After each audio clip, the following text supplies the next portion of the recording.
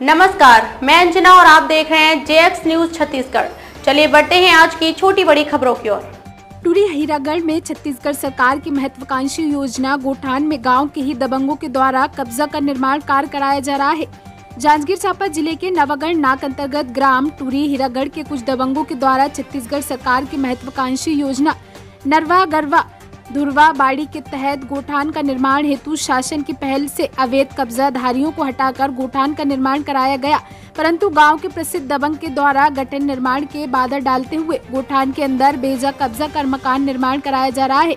सरपंच प्रतिनिधि ने बताया कि इसकी शिकायत थाना तहसील में भी की जा चुकी है, परंतु उसके ऊपर अभी तक कोई कार्रवाई की नहीं। जैसे उसका मनोबल बढ़ता जा रहा है, जिससे गाँव के विकास में बाधाएँ आ रही हैं। गाँव का विकास रुका हुआ है। आपको बता दें कि जो दबंग लोग गोठान में कब्जा कर रहे हैं वे लोगों का मकान गाँव के बस्ती अंदर पहले से ही बना हुआ है। ज़बरदस्ती करते हुए सरकार काम में बाधा डाल रहे हैं।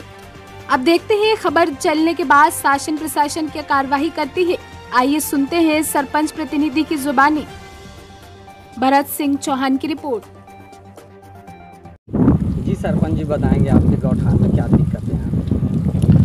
मैं चंद्रराम कश्यप हूँ सरपंच प्रतिनिधि। गौठान में जो बेजा कब्जा धारी वाले लोग बहुत परेशान करके रखे हैं, काम में बाधा पहुँचा रहे हैं। काम करने नहीं दे रहे हैं कि सामने में हमारे सामने को जगह को छोड़ो। ऐसे बोल रहे हैं, जबकि तहसीलदार द्वारा सबके मकान को तोड़ दिया गया है और उसी खाली ईंट को दीवार जैसे बनाकर ज़बरदस्ती करके यहीं पर सब रुके हुए हैं और सबके बस्ती के अंदर में सबका मकान बना हुआ है। जहाँ पर उन लोग रहते हैं यहाँ पर खाली विवाद करने के लिए आते हैं। जब भी काम चालू करते हैं, उन लोग आकर के विवाद करते हैं।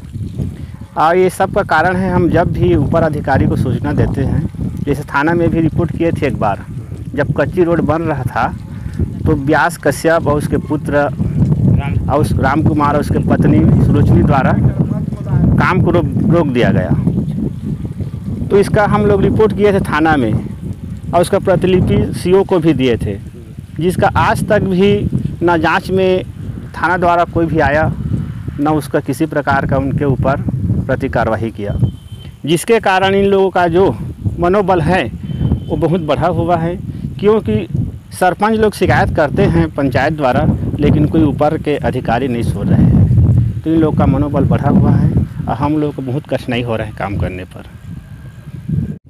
जी का नाम है भैया तो? हर नारायण पिता जगदीश प्रसाद हीरा कटूरी का परेशानी आते तुम भैया यहाँ हमन तार घेरे बा मजदूरी करा था तो भैया ये मन माने काम ला रोक घेरा था? गौठान में। हम्म, गौठान में काम करा था कदेवा तो वही में तार घेरा था तो ये मन हमला ज़बरदस्त जान से मारने की धमकी भी देते कदेवा जाना जगह जगह। ता तुमन झर उंधा हमन के यहाँ ज़मीन की के जाना ना हमन के घर की के और कई बार ऐसने आथन गुता काम। बताया रहा कि सरकार तोड़ दे तोर घर कई दारे हैं भैया। का ता ना हमला ज़मीन दे सरकार होकरे खाद की हेवाई की के और जान से मारे के धमकी के देते भैया। महिला मला भेजे रहते फूल चंद हेवाई गणेशु है ओहू मन धमकी देते भैया पतराम है तेहू मन धमकी देते और पूरा का कहते हमन जली और उनथन ते सब लहेर के मेल देते अच्छा ये मेरी लगाओगी। रिपोर्ट दर्ज करे रहा।